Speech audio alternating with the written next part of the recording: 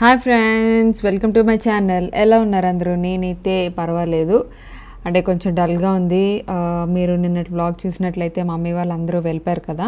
So దాని continuation వ్లాగే అనమాట ఇది. సో ఎవరైనా నిన్న వ్లాగ్ మిస్ అయితే ఒక్కసారి చెక్ చేసేయండి. ఓకేనా?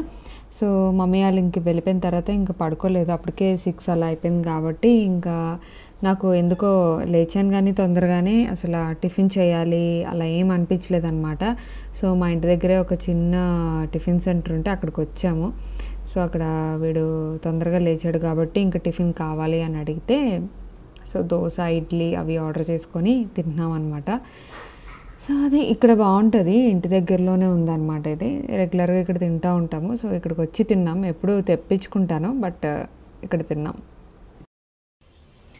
సో చూసారు కదా ఇంకా మమ్మీ వాళ్ళు వెళ్ళిపోయారని చెప్పేసి ఇంక నేనైతే ఏం టిఫిన్ ప్రిపేర్ చేయలేదు. మొత్తం మూడ్ ఆఫ్లో ఉన్నా అనమాట నేను అండ్ లిక్కు అయితే చాలా చాలా ఏడ్చాడు. చాలా బాధపడ్డాను వాడు ఏడుస్తుంటే నేను కూడా. ఇంకా టిఫిన్ చేసేసి వచ్చేసాము. వచ్చేసిన తర్వాత ఫిష్ ఉంటే ఫిష్ కర్రీ చేస్తున్నా ఇక్కడ. సో యా ఫిష్ కర్రీ అయితే చేసేస్తున్నాను.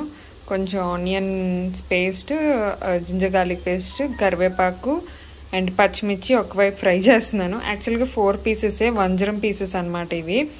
సో ఈ ఫోర్ పీసెస్ ఒక పక్క ఫ్రై చేస్తున్నాను. తర్వాత వన్స్ రెండు ఫ్రై అయిపోయిన తర్వాత మిక్సీ చేసేస్ అదే మిక్స్ చేసి టమాటా జ్యూస్ వేసేస్తాను అనమాట సో ఇక్కడ టమాటా చాప్ చేసి ఉంచుకున్నాను.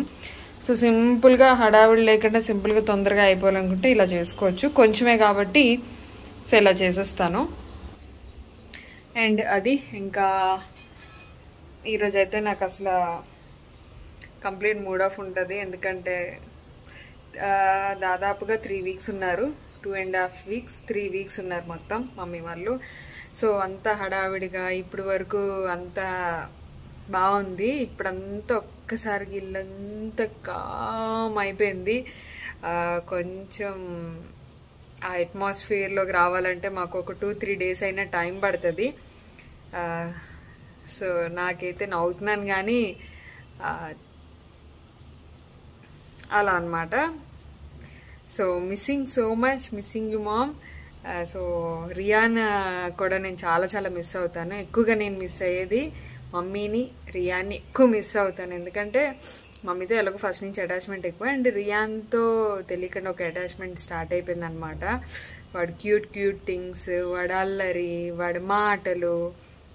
త్రీ వీక్స్ ఉన్నాం కదా సో త్రీ వీక్స్లో ఏమంటే లాస్ట్ ఫోర్ ఫైవ్ డేస్ నుంచి మా ఇద్దరికి అటాచ్మెంట్ ఎక్కువైంది. లైక్ నాతో పాటే వాడు తిరగడం నాతో పాటు రెడీ అవ్వడం అండ్ నేను బయటకు వెళ్తే అత్త నన్ను కూడా తీసుకెళ్ళి బయటకని వాడు యాడ్ అవ్వడం.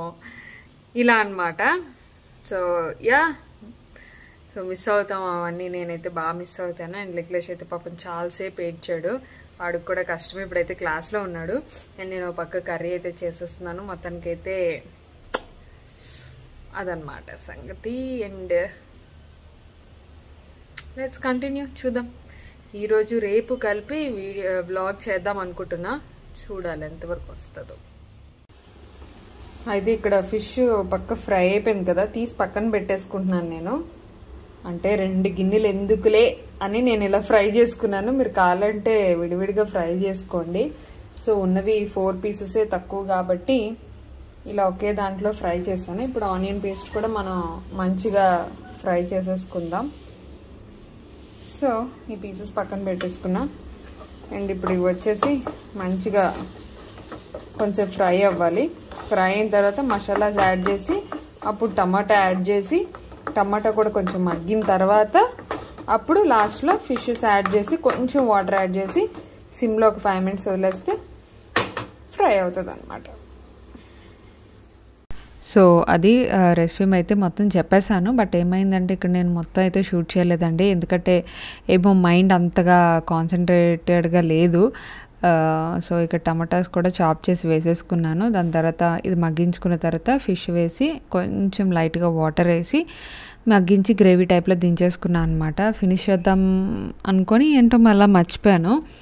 సో అది కొంచెం డిస్టర్బెన్స్గా ఉంటుంది నాకు తెలిసి ఒక టూ త్రీ డేస్. తప్పదు. అండ్ ఇప్పుడు వచ్చేసి ఒక బ్యూటిఫుల్ డ్రెస్ నేను మీతో అందరితో షేర్ చేసుకుందాం అనుకుంటున్నాను. ఎందుకంటే నాకు చాలా బాగా నచ్చింది. ఇది నేను హన్సీస్ కలెక్షన్లో తీసుకున్నాను. మీ అందరికీ తెలుసు. నా నేను హన్సీస్ కలెక్షన్కి రెగ్యులర్గా రెగ్యులర్ కస్టమర్ని ఎందుకంటే ఖచ్చితంగా తీసుకుంటూ ఉంటాను ఏదో ఒకటి. ఎందుకంటే వాళ్ళ దగ్గర క్వాలిటీ నాకు నచ్చుతుందండి అండ్ రీజనబుల్ ప్రైస్ అనిపిస్తుంది. అండ్ ఇంకా ఈ ఫ్రాక్ వచ్చేసి ఇది కంప్లీట్లీ అవుట్ అండ్ అవుట్ మనకి లాంగ్ ఫ్రాక్ అనమాట విత్ దుపట విత్ హిప్ బెల్ట్తో వచ్చింది.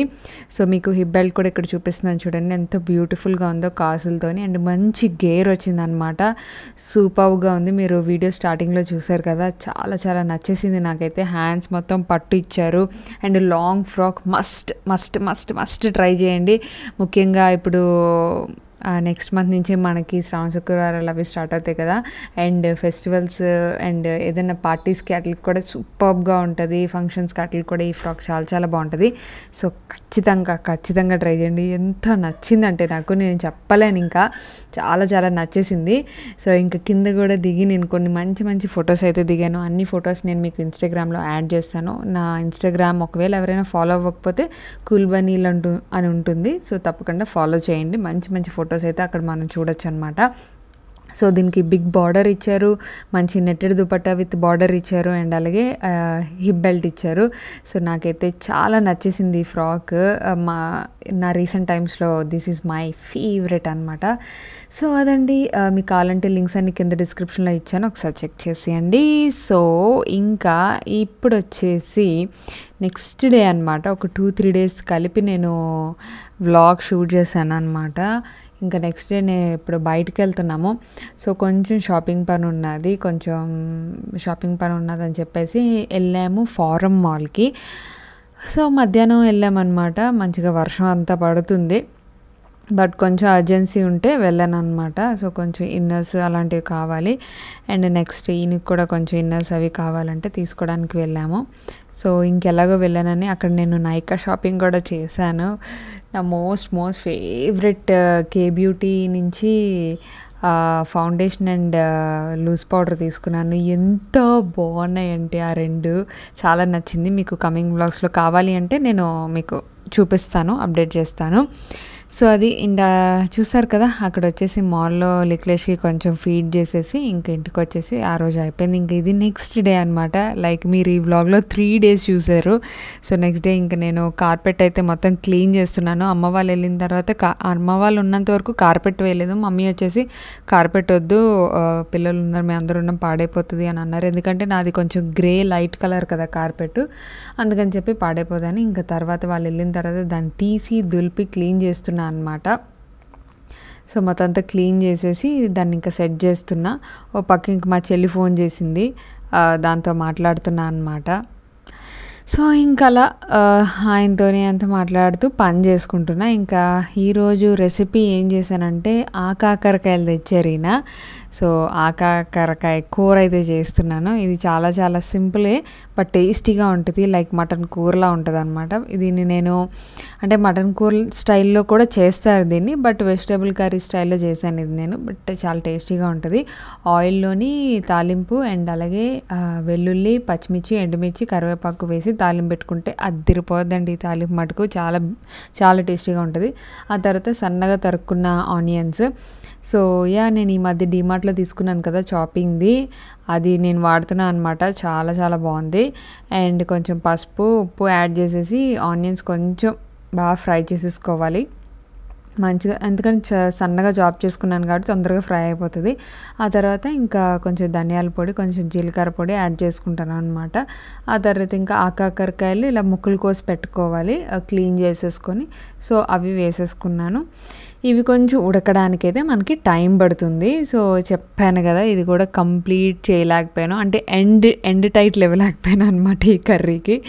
సో అతనికైతే మొత్తం ఇదా మిక్స్ చేసేసుకొని దీనికి కొంచెం టమాటా ఫ్లేవర్ యాడ్ చేసానంటే ఎందుకంటే టమాటా ఫ్లేవర్ యాడ్ చేస్తే కొంచెం లిక్లెష్ బాగా తింటాడనమాట ఇంట్రెస్టింగ్గా అందుకని చెప్పేసి. సో ఇక్కడ మనకి ఆకాకరికాయ మగ్గిపోయింది.